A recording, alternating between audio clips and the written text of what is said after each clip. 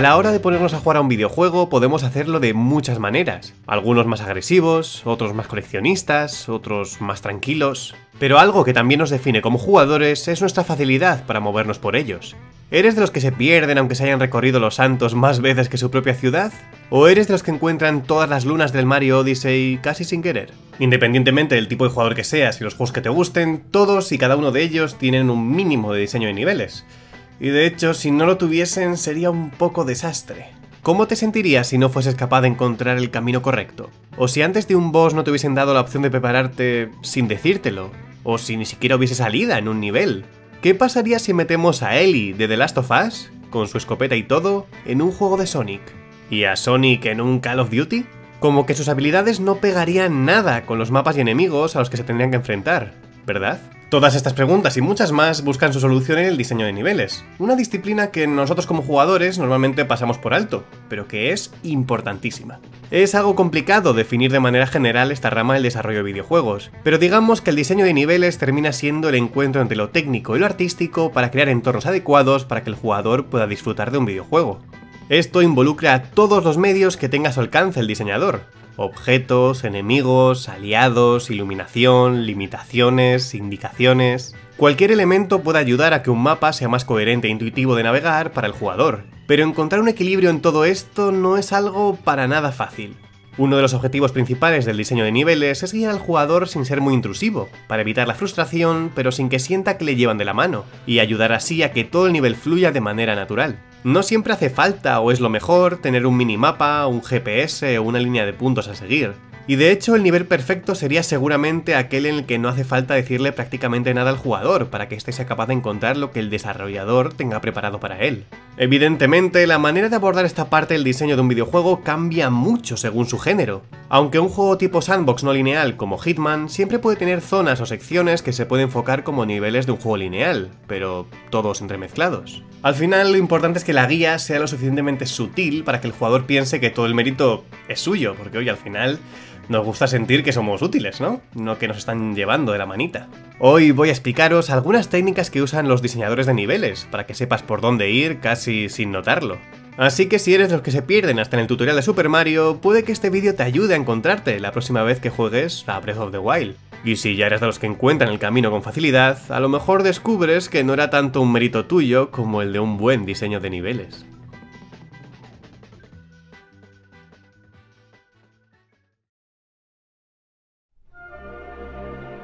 ¿Cómo se hace para que el jugador siga más o menos un camino prefijado, sin romper la inmersión y que piense que está siendo dirigido en... bueno, en, un videojuego? Pues hace falta tirar de tácticas extremadamente sutiles pero funcionales, que además se pueden superponer unas encima de otras para conseguir un mayor efecto.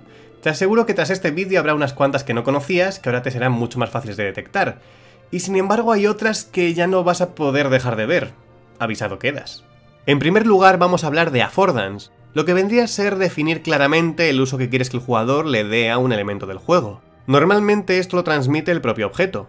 Por ejemplo, una escalera se puede usar para subir o bajar, unos bordes escarpados también, una rampa se puede utilizar para saltar. Pero no es que esos objetos sirvan para X cosas, es que ya el mero hecho de añadirlos en el mapa anima al jugador a usarlos, o a realizar la acción a la que incitan. Por ejemplo, si en un tejado los desarrolladores quieren que saltes por un lado en concreto, lo más probable es que haya algo con forma de trampolín que te incite a ello, ya sean unas tablas o la propia forma del tejado. Mientras que si quieren que subas, lo más probable es que, si no hay una escalera, haya unos bordes con un color o una forma muy marcada que llame tu atención y te anime a agarrarte a ellos para escalar hasta donde lleven, incluso si todavía no has visto su destino. Este método de la affordance también se puede usar al contrario y modificarlo para que el jugador tienda a no usar uno de los elementos que hemos comentado antes, y así evitar confusión al pensar que podría, por ejemplo, trepar por una pared con la que realmente no puede interaccionar. Unos ejemplos típicos de esto pueden ser que suelen tapar con tablones una ventana o una puerta para que el jugador sepa que no puede abrirla, ponen zarzas o pinchos en bordes para que intuya que no debe escalarlos, o rompen una escalera para que el jugador note que su personaje no llega. Esto que hemos mencionado no solamente hará que el nivel sea más interesante visualmente, sino que te irá guiando casi inconscientemente y de manera natural por la ruta que te ha marcado el desarrollador. Y al final de eso va la cosa, ¿no? De guiarnos sin que lo sepamos. Y de hecho estas técnicas tiran de nuestros impulsos más básicos, como la siguiente que veremos, que tira de algo que está metido en tu cabeza desde que eras un bebé. El lenguaje visual de las formas es algo que se nos ha ido inculcando desde niños y que va a tener un efecto muy potente sobre nosotros, incluso aunque no nos demos cuenta. Las formas redondeadas solemos verlas como algo inofensivo, algo que no puede hacernos daño. Las formas cuadradas las vemos como algo estable y útil, donde podemos colocarnos nosotros o colocar cosas. Y por último, es evidente que las formas punzantes nos transmiten peligro y amenaza. Pueden pincharnos, cortarnos o insultarnos. Con estos pilares tan básicos, los desarrolladores nos pueden guiar por el mapa colocando árboles o rocas algo más punzantes por donde no quieren que vayamos, mientras los arbustos o matas de hierba redondeadas nos indicarán el camino a seguir sin recibir daño hasta los edificios, coberturas o vehículos, con formas más cuadradas y estables. Además de que, ya de por sí, las creaciones humanas en la naturaleza destacan y llaman nuestra atención muchísimo, dado que es lo que estamos acostumbrados a buscar por puro instinto de supervivencia. Otra técnica que también sirve para guiarnos sin que lo sepamos y de manera sorprendentemente fácil es el color. No solamente sirve para denotar affordance y hacer que destaquen esos objetos, como el típico barril rojo que explota, sino que también sirven para directamente darnos pistas y guiarnos usando algún color que destaque del resto. Por ejemplo, en Ratchet Clank Rift Apart, al principio del juego, tenemos que seguir a un personaje, y por si acaso al jugador se le ha complicado algún salto o enemigo y le ha perdido de vista, a poco que se fije o incluso sin fijarse, irá yendo por la dirección correcta gracias a manchurrones de pintura naranja que nos ayudarán a seguirle la pista. Además, se supone que son de las pinturas de los grafitis que hay por la ciudad, así que doble de puntos por ser un diseño muy orgánico. Pero la única manera de llamar nuestra atención no es un color chillón. Un sonido en el momento correcto, la propia música, también puede indicarnos hacia dónde mirar o dirigirnos. Seguro que a muchos os ha venido a la cabeza el típico portazo o voz pidiendo ayuda en un juego de terror, pero un ejemplo muy claro y chulo de esto lo encontramos, de nuevo, en Rift Apart, cuando nos piden que encontremos una discoteca de la ciudad, la cual podremos encontrar fácilmente siguiendo el sonido de los bajos o fijándonos en que según nos vamos acercando la música se va haciendo más fuerte y evidente. Es supernatural e intuitivo, dado que si nos piden buscar un club y empezamos a escuchar chunda chunda a lo lejos, no es difícil sumar 2 más 2 y movernos hacia allí intuitivamente a pesar de que no nos hayan dado mucha indicación sobre nuestro objetivo o incluso que tengamos varias rutas a nuestra disposición. Esta técnica también se puede aplicar en mundos abiertos, como Breath of the Wild, donde entre las esporádicas notas de su música destaca mucho cuando empezamos a escuchar en la lejanía la melodía de una posta. La canción del establo no solamente nos indica que hay uno cerca, sino que sabremos si avanzamos en la dirección correcta porque, según nos acerquemos, irá sonando con más fuerza. Todo ello, como podéis ver, sin poner ni un solo indicador en pantalla y confiando totalmente en el instinto del jugador. No está pero que nada mal, ¿verdad? Otro elemento que capta nuestra atención rapidísimo es el movimiento. Y de nuevo, un ejemplo típico de ello podrían ser los típicos cuervos o murciélagos que salen volando de una cueva o de la mansión embrujada a la que tenemos que ir en un juego de terror. Pero ya que estamos en Breath of the Wild, en este juego se usan los pájaros de una manera más original y que da... menos infartos. Si vamos caminando por Hyrule, no será raro que algún grupo de aves moviéndose en círculos destaque en el cielo y llame nuestra atención. Pues, como muchos de vosotros seguramente ya sabréis, esto lo han implementado para que el jugador se acerque a esa zona y descubra un santuario justo debajo de las aves. Qué majos estos pajaretes. No como los cuervos esos. Y no sé si nosotros nos parecemos mucho a los pájaros, pero a lo que sí nos parecemos es a los bichos. Sobre todo porque solemos buscar muy mucho la luz, incluso aunque no nos encontremos dentro de una cueva.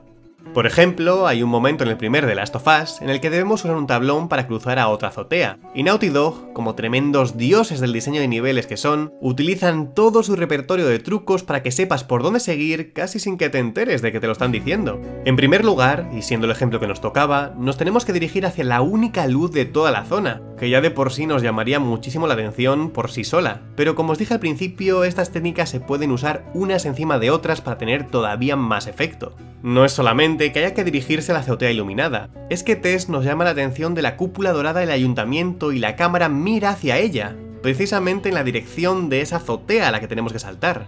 Seguro que muchos ya habréis notado que, además, el dorado resplandeciente de la cúpula también llama muchísimo la atención, pero ¿cuántos os habéis fijado en que justo la barandilla sobre la que tenemos que colocar el tablón para poder cruzar es la única que está pintada también de amarillo y que, encima, justo detrás tiene también otro cartel amarillo.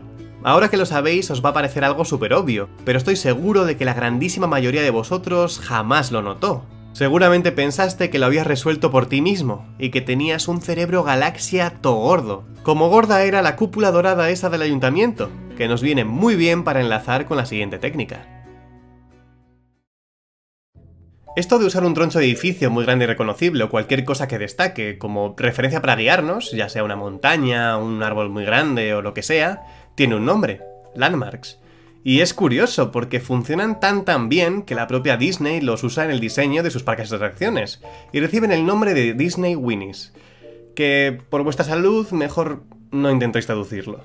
Según los diseñadores de la propia Disney, un Winnie es algo lo suficientemente grande e interesante para que la persona que se encuentre en su parque de atracciones lo pueda ver desde muy lejos y tenga ganas de mirarlo más de cerca.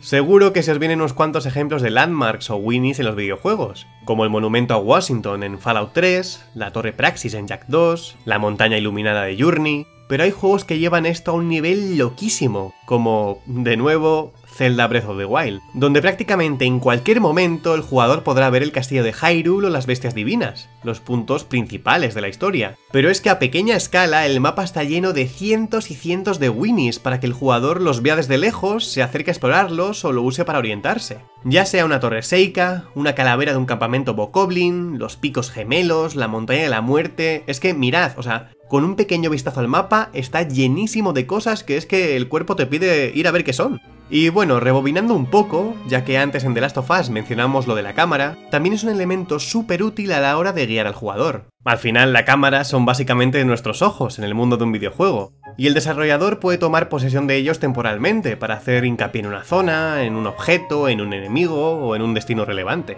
Y la cámara no se usa solamente para remarcar el objetivo o el Winnie de turno, como vimos en The Last of Us. A veces un ligero movimiento de cámara es la diferencia entre que el jugador se entere o no de lo que ha desbloqueado o el siguiente camino a recorrer, como sucede en Ocarina of Time. Con este título siempre se suele mencionar el papel de la pesada de Navi a la hora de marcar objetos útiles o dar pistas al jugador para resolver puzzles o seguir con la aventura pero pocas veces he visto hablar de los pequeños cambios que se hicieron para el remake de 3DS. Estoy seguro de que aunque no hayas jugado a Ocarina of Time, conoces el Templo del Agua, seguramente el nivel sobre el que más pestes han echado en la historia de los videojuegos, y uno de los principales responsables del odio general hacia los niveles acuáticos. Pues bien, al final los problemas de esta mazmorra son que es enorme, es laberíntica, ponerse y quedarse las botas de hierro es horrible, sobre todo en el original, y bueno, 7,8, too much water. Y oye, quieras que no, eso al final se hace muy pesado y la gente era bastante propensa a perderse o incluso a atascarse con tanto cambio en el nivel de agua, por muy buena que sea realmente esta mazmorra. Y eso era especialmente notorio en la sección que vamos a analizar a continuación.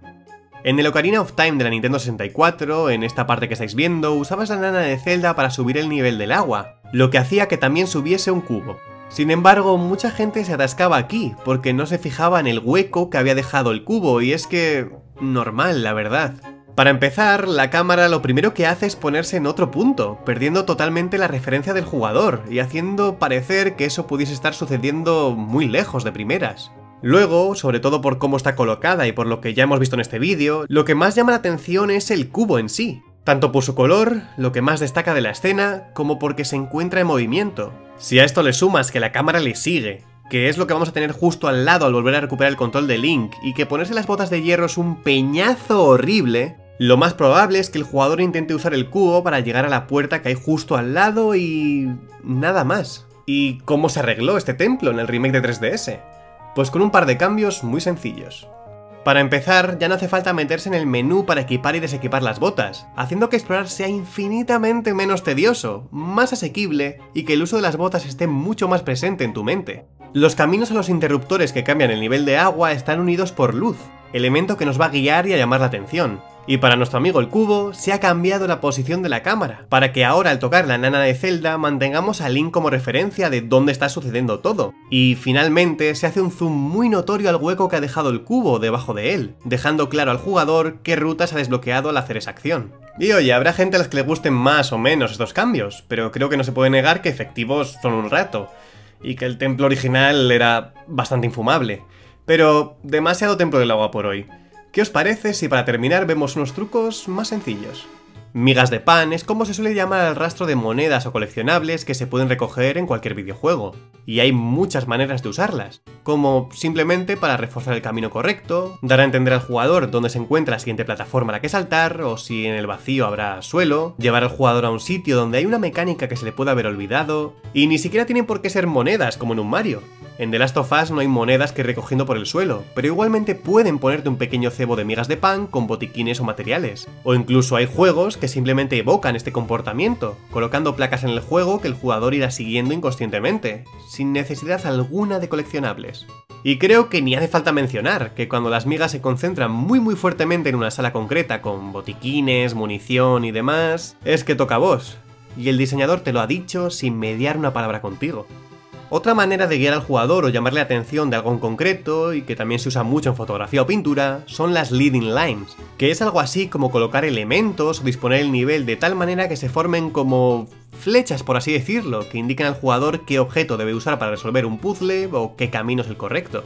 Y para esto realmente vale cualquier cosa. La disposición del nivel, unas tuberías, marcas de ruedas, coches que miran en una dirección, un camión de lado, unos troncos, el viento en Ghost of Tsushima.